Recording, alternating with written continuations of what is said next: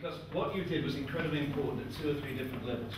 Firstly, the world is full of people like me, of my age, who think they know what people like you, of your age, want and experience. That's rubbish. We don't.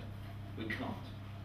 The reality of life is something that you know, and it's my job to listen to you and to respect you. To hear a 12 year old person actually laying down a track about people smoking weed, that's shocking.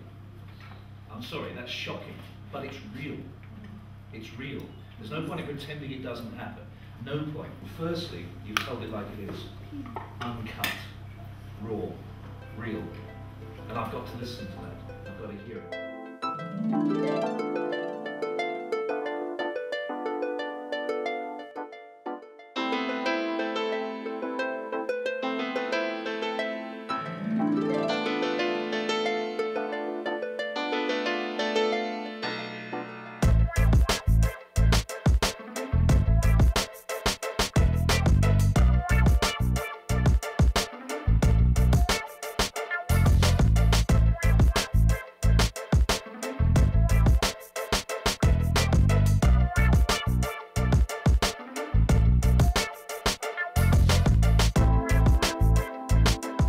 People find it incredibly difficult to talk to people like me. Um, and it's not because I'm an MP, it's partly because it's just the age, sometimes it can be race, it can be a whole range of things. And that's understandable. I mean, you know, when I was your age, I would have not particularly liked some middle-aged bald bloke in a suit wandering in there. So you've kind of got a credibility gap anyway. And that's a shame because it's people like me who've got to actually come up with the goods for the future because, in all honesty, I'm the past, you're the future. I don't know if you know, but what you've been doing is some sort of active citizen. Yeah, citizenship. Oh, you've heard of yeah. it? yeah? Wicked. What's your definition then of, of an active citizen?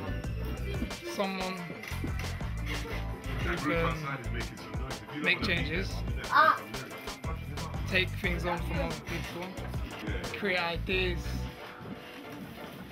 No, that was really brilliant, though, I have to say. Uh, that was uh, very creative and it, I thought professional, actually. Um, yeah, you can pay money for that. And also, you were talking about stuff that was going on around you. You were very aware. You were politically aware. Uh, yeah, so I think really I have to say, even if I wasn't a fan beforehand, after hearing tonight, I mean, how can anyone not be absolutely and utterly committed? You know, I, I want to thank you, Mark, and I want to thank Reign Free for actually facilitating this tonight, because these things don't just happen, they don't just grow from the ground. They've got to be facilitated, they've got to be directed, and you've done that, and you're brilliant. And, you know, we've heard the authentic voice yet.